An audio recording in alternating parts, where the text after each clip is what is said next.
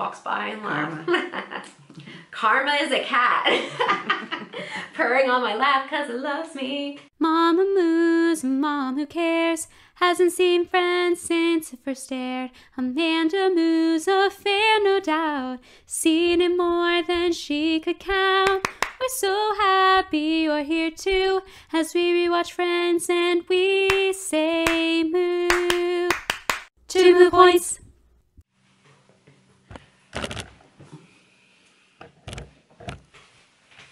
Good.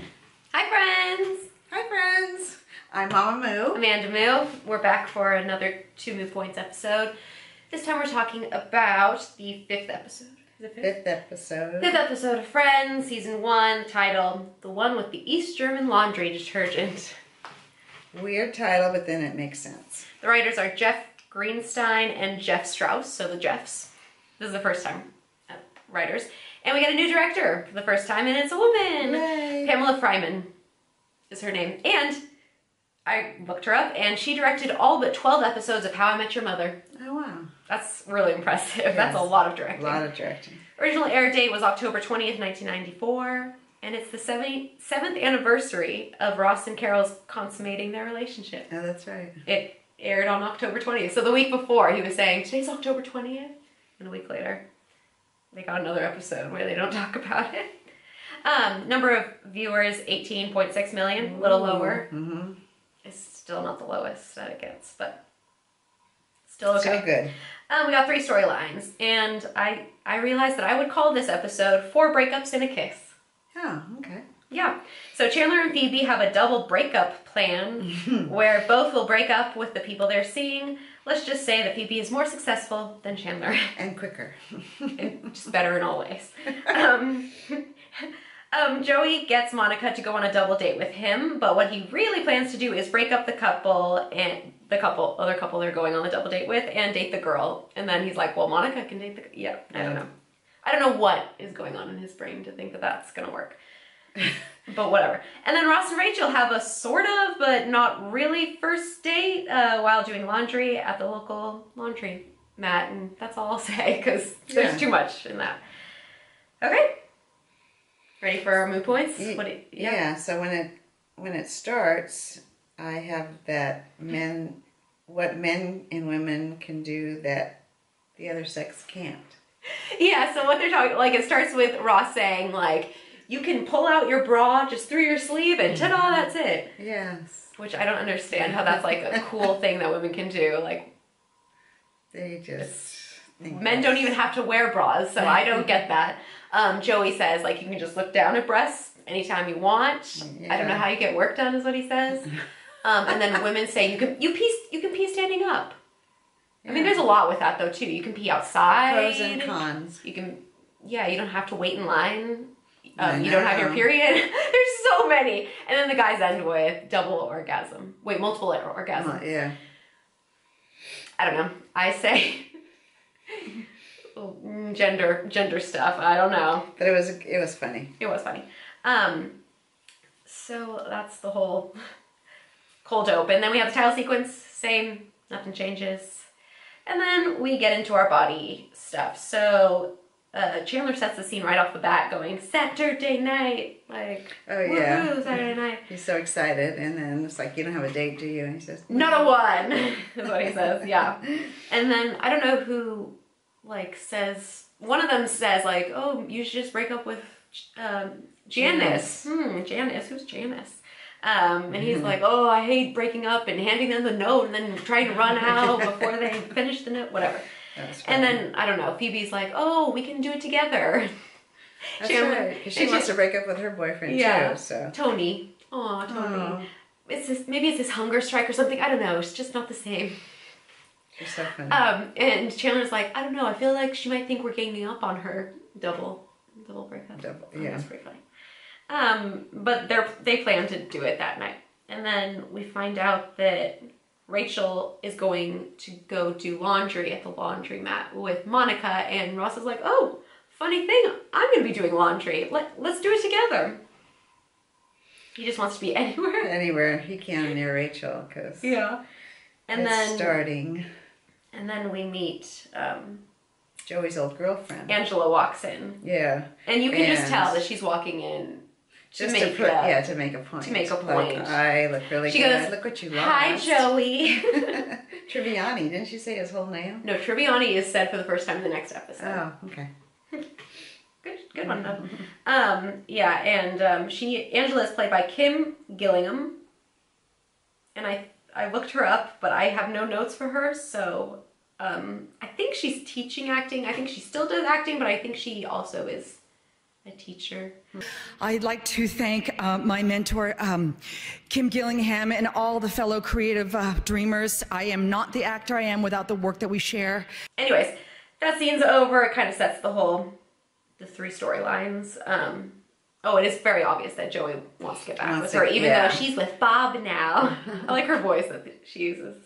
And Bob is has all these good qualities. Yeah. So she's happy. But we were great to get whatever. Joey's whole spiel thing. Next scene is at Monica's and Rachel's. Um, and we get our second ugly naked guy sighting, which That's is right. so good. Uh, Monica sees him and says, Ugly naked guys laying kitchen tile. it's so gross. I love it. Just Um, the image. and then, so the whole scene is basically Joey trying to convince Monica to go on the double date, but telling her that um, It's it's her, Angela it's Angela's brother. Yeah. which is hilarious because she's oh see, it's so twisted like she does not understand like it's she's so all over her brother. Yeah. Um it's just but what i didn't note was that it's very strange to see a scene between joey and monica. I feel like they're the two Ah, that very Don't rarely usually- yeah. have a scene together. So it's just it just feels strange. Um do you have anything? No, Okay. she agrees to go and yeah. So the next scene is at ross's apartment. I this is i guess the first time we're seeing ross's bedroom i assume no, i'm pretty sure probably. And Ross is on the phone, and one of my favorite moments that I just never have noticed before Chandler's playing with his dinosaur toys. Oh yeah, that's And Ross says, Hold on one second. And he goes, Okay, he says, You need you need not touch any of those. You need to not touch any of those. because they're important to him. and stop playing with my toys. I just love it. Also I noticed that there's a violin hanging on the wall. We do find out that Ross is very musical, um, with other instruments, um, later on. later on. Never with the violin, but who knows? Um, and then also, Chandler basically tries to convince him that this is a first date. You and Yeah, oh, because he found out that Monica's not going to be able to go. right. Now so now it's just going. gonna be the two of them. And so Chandler's like, "It's a date," and Ross Like, is like, "Really?" Get rid of those like, dirty underwear and Oh, like that don't was use so don't use that fabric softener snuggles and like. First time she's gonna see your underwear, and you want it to be dirty. And I love Ross's nuh-uh, nuh-uh, it's not a first date. Like he's I don't know, like, oh my god, what? Then we go to the restaurant where um Rachel no, Monica and Joey are waiting for Bob and Angela. Um and what? Oh, and Monica finds out that um, Joey has never met Bob because she's like, "Is he? Tell me about him. Is he tall? yeah, is, is he he short?" And he Is he goes, "Uh huh." Uh-huh. You've never met the guy. No. But then Bob walks in and she's like, "Oh, oh, he's, He's handsome. He's played by Jack Armstrong. And again, I did not write notes, but okay. he was interesting. Yeah, I think he was interesting. And he, he didn't he, look familiar. he looks totally different now. He's like um the other guy who looks totally different.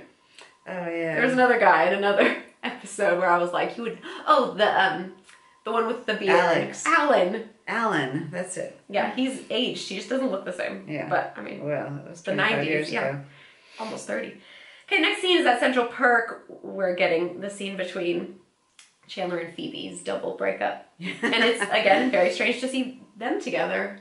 Yeah. Which is weird because I love them. I know they And were so- great together. Yeah. oh, Both God. of these teams were good. I mean, it's just that, like you said, uncommon. It's just, yeah, for the rest of the series.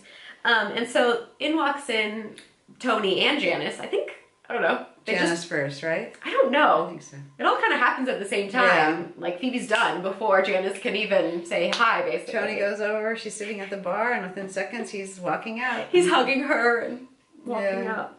Um, and Janice walks in, and you said, she's the one with the voice, right? Yeah, The voice. the voice. Janice. This is our first time meeting Janice. She will be in 19 episodes. But Wow. even that seems not like not a lot, 19, but she makes an impression. That's Oh, for sure. yeah. She's played by Maggie Wheeler, and she's just. I mean, she's, Janice. priceless. But her voice isn't that strong in the beginning here until she goes, ow, ow, ow. Yeah, so it. I don't know. You can sense it though. Her laugh and I don't know. oh, yeah, she things. does laugh, and her laugh is. Um, and her first line ever in the show is "Oh my god." Oh. Isn't that weird? It's not Yeah. like "Oh my god,", God, but yeah. it, she does say "Oh my god." That's her first. I don't know. Um, and I noted that Janice's hair is so pretty. Yeah. She looks really pretty. Yeah, like it was like I, cur- I want curly hair because I have straight hair. You want a straight hair? Yeah, it's that whole thing. But her hair is curly and just like full. It And looks has, really pretty. has Chandler um, been drinking lots of espressos at this point or not yet? No. Not yet. No. okay. I didn't know if he had No, one. he's easing into it. Okay. Um, oh, I love Jan. Um, so Janice's first laugh that she delivers on this show, Chandler's disgusted face while he walks away is just like. Okay, next we get to go to the laundry mat where we meet the horrible woman. I think that's what her um, character description is Oh. um, on IMDb. But I think um, Rachel refers to her as this horrible, that horrible woman. Um, she is so cool looking. Like I love her makeup Oh, and her like The hat the hat and the shirt. Like she's Yeah. just a character. Like for sure. And she looks really tough, kind of. Oh yeah, she's but she's small and but I don't know. She yeah she has that a little intimidating Mhm, energy. She's yeah. played by Camille Saviola. Sadly, she passed away last year. Really? I know it's Oh. sad, but she does like she's only in this one episode, but She's funny. she's pretty great. Um, so what the whole horrible woman thing starts when Rachel has I think her basket on a machine. lines on her face. What? What's our line? The lines on. Oh, you want me to teach you about zebra lines? No. Zebra lines. This is what I learned in my my TV production skill. Oh, well, it shows when things are really bright. Oh well, we are really bright. We go. shine because we're bejeweled. like oh, Taylor Oh, that Swift. explains it so well. Okay. Oh my gosh. Okay, so the whole horrible woman thing starts with I think Rachel has her basket on a machine and then the lady comes and moves her basket and like And notices like, that there's no there's no clothes, there's no suds. Mm-hmm. So no suds, no save is what she says. And Rachel's just like, oh, oh, I'm so sorry. I don't know. You can just tell that Rachel doesn't want to get into it. Right. No fighting for Rachel. Um, and then, um, um, and then Ross like saves the day, and it's just like, uh, no, you know that's not real. That's not the rules. Mm-hmm. I don't know. He he just saves the day, and yeah. the woman like reluctantly is like, fine, Okay. She walks away. Yeah. She walks away. She takes her clothes out of the machine. She put stuff in there already. Mhm. Um, and you said, "Oh, he's the hero." Mm-hmm. But then he um says like, "Oh," because Rachel's like, "I could never do that," and he says, well, that's because you're such a sweet, gentle." and then he like realizes, "Okay, let's uh, get back. Yeah. This is. Let's not get lost into describing her." And he shows her his detergent, and it's Überweiss. It's it's, It's new. It's tough. German. It's German. I don't know. He gives descriptions. But that's why the title of the episode. Überweiss. Überweiss. Um, and it's roughly translated to ultra white. Oh. It's not a real detergent, but the box is super cool. Like when you see pictures of it online, Mm-hmm. it's just fun that they, you know, so proud. and the prop people like put in time to to decorate or design. It's pretty cool. Um, and then we find out that Rachel has never done her own laundry, even though the episode before she tells her old friends that I do laundry. I do my own Yeah. laundry. Supposedly And she's she doesn't know it. to separate things. No, she, And so Ross has to teach her. Yeah, and then um, she says, "What about these?" My, oh, because he says delicates would be your panties, bras, your delicates, and um, she said, "What about these? My white cotton panties?" and he said, "That that that is a what a judgment call. Yeah. I'd put them with the whites. Of course. All you do is white I was like, colors. you don't need to. Cotton isn't like Yeah. lace." Um, and then we go to the restaurant, back to the restaurant with the date between Angela, Bob, Joey, Monica. Um, and um, Monica is, oh, Monica asks them where they grew up, and they give two different answers. And Monica's like, Oh. And Joey goes, Oh my god, I suddenly had the feeling I was falling. Just to change the subject. and he gets away with it because he's amazing. For now. Um, and you notice that his shirt and his suit jacket match. Yeah, like they're the same color. Very cool. Like a brownish. Remember, Yeah. um, Regis used to wear that on um, when Millionaire first came out. The same color? Mm-hmm. Ah, yeah. that's interesting. Regis, you're so cool. And then we get um, later on in the scene where they're at a table, and Joey is setting up Bob for the destruction of their relationship by saying something about her, how she eats like a Oh yeah, and like she does. mouse or something. Mm-hmm. She nibbles. Yeah, and he's just setting Bob up to like find that annoying. I don't know. And then we see Monica and Angela in the bathroom talking, and Monica's like, Bob's great, and I don't know. And oh, and then Angela says, and he's great in bed, I think. I know. And then Monica says, my brother never even told me when he lost his virginity, but in the episode before, Oh, he did tell. he, yeah, He he said said, I told everyone, and Yeah. Monica's like, oh yeah. Mistakes. I know. But that's Bad writing. I'm kidding. I'm Only when you dissect it. Otherwise, you wouldn't even. Yeah, it's just so funny that it was this the episode before. Yeah. Um, go back to Central Perk for the Phoebe and Chandler breakup. Um, Phoebe and Chandler reaction to Janice's reaction. Basically, I thought it was really funny because Phoebe was in the background going like, "Oh my god, she's not taking this so well." like she's freaking out because what was she going? She was like, She's- "Stop it! Stop it! Stop it!" She was like, "Stop it! Stop crying." And uh, Chandler's like, "This isn't about you," and Janice goes, "Oh, I know this is not about me. This is totally about your fear of commitment." This is a deleted Oh. scene, and he goes, "What fear of commitment? I don't have a fear of commitment." She goes, "Oh, please," and he goes, "I don't." Oh, please, she says, "I don't. I'm ready to commit anytime." And she just goes, "Really?" That was deleted, but I just took a note that they have incredible chemistry. yeah, they're good together. They are so good together, which is why she So does he give her back the socks that she brought for him? The Bullwinkle. Yeah, does she socks? take them with her? I don't know. Yeah, she gives one of them. Bullwinker, Bullwinkle, Bullwinkle. or Rock. Rocky. I don't know, Mom. yeah. Next time we watch, we'll have to figure that out. We go back to the laundromat. Do you have something? Oh, sorry. No. No, I would. I would- Chandler. Um. Not yet. The next one. okay.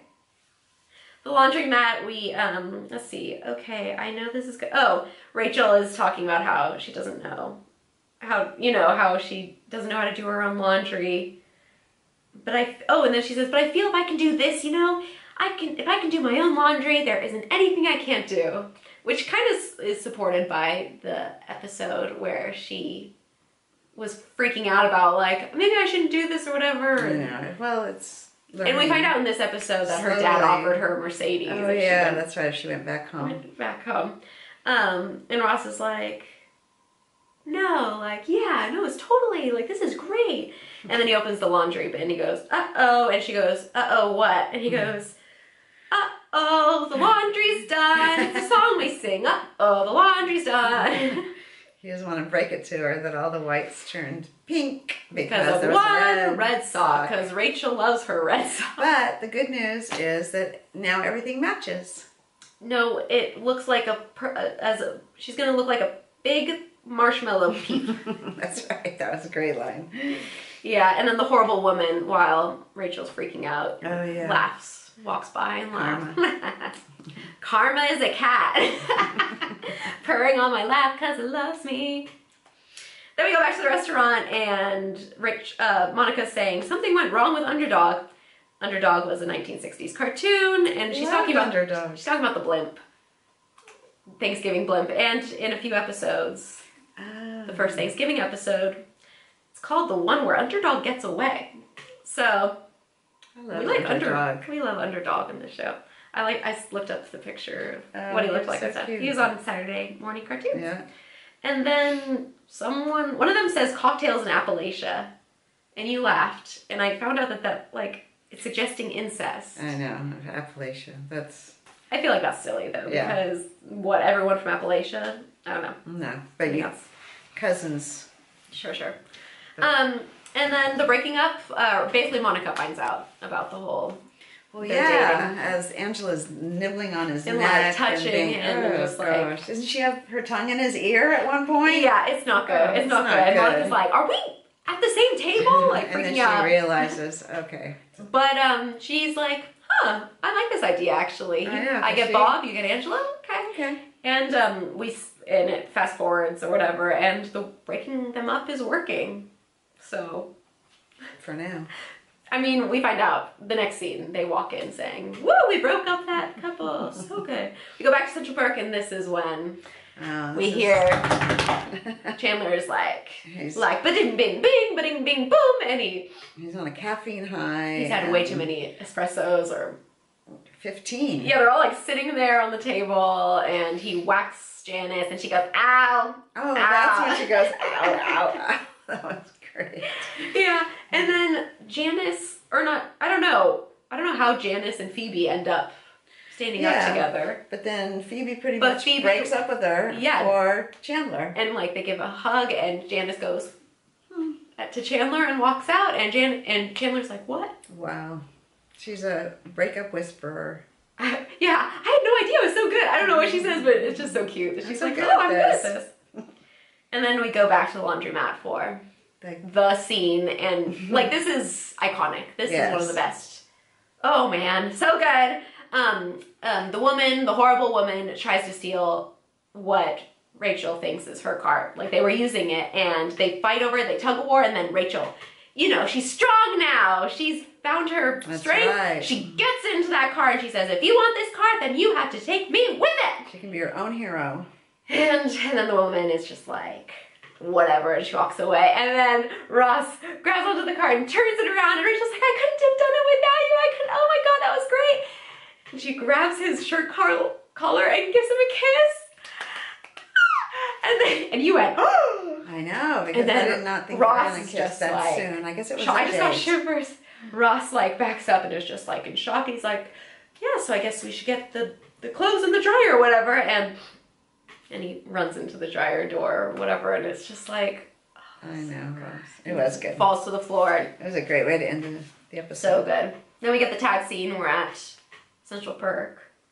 We find out that Monica and Joey were successful in breaking up the couple. Um, and um, Ross has an ice pack on his head, and Rachel's like comforting him and like, I'm sorry, but like, how is it that they did not become a couple after this? Soon, Like, I know. Well, like this whole thing just didn't happen. Like, was it not a thing? Like for ri- me, it was a thing. it's up to the writers. The next episode, no mention of it. Like, she's like That's sitting okay. there, We like, got our first kiss. but it, but it gets erased. I don't know. I don't know. It's just one of those. Ah, did that happen? Did it not happen? And then we were talking about it, and we were like, no, it wasn't a date. And you said, yeah, he didn't bring wine. No, that's right, because he said, do I have to bring wine to the laundry? yeah, he did say that. Okay, rating, rating time. I don't actually have my rating figured out. Yeah. What's your rating? I rated it a five. Which is Joey. Oh, Joey with the food. Yeah. It was good. It was really good. But it wasn't. Yeah, I think I'm gonna give it a five. Okay. I don't- oh, I don't Is love- This the first time we agree. Yeah, I don't love the Joey, Angela, Bob, that whole thing. I No, don't know, but it was funny that um, Monica's reaction to Yeah, it was the two interesting. of them. But I love the breakup, Phoebe. Yeah. Like that. Oh. That was great. Chandler is incredible in this episode. Yeah, he was good. So we both gave it a five. That is the first Okay. time I think. Um, so words of Thank wisdom? you. Good job, Mama. Okay, words of wisdom, Mama. Um, I was. What was I gonna say? Oh, um, you're not alone, and um, we support you, and we hope you find some calm in the hecticness of life. Mm, But we support you, and you are loved and worthy. And, anyways, bye, friends! Bye, friends.